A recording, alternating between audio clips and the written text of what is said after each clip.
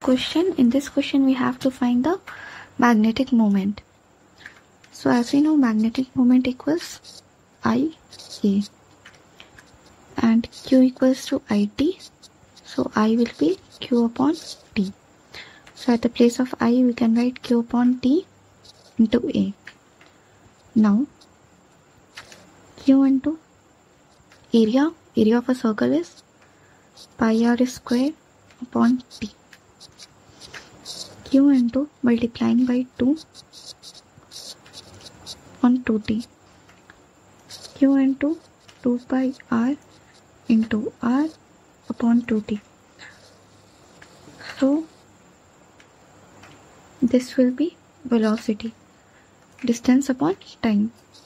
Q into v into r upon 2 now at the place of r we can write 2 pi r equals l so R equals L upon 2 pi.